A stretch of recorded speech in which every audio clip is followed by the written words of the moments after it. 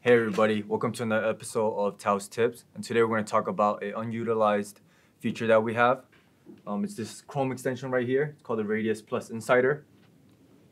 And to use this Chrome extension is fairly easy. You can go on to any web page that has an address, highlight that address, right click it, go to Radius Plus Insider, Pricing Analytics, and down here a little dashboard will pop up giving you information on pricing data and demographics um, for your desired address. So if you're an operator that uses um, pricing daily and want to look at it at a daily rate, um, this is definitely the perfect Chrome extension for you. I'm gonna leave information down here so you can check it out and yeah. Bye guys.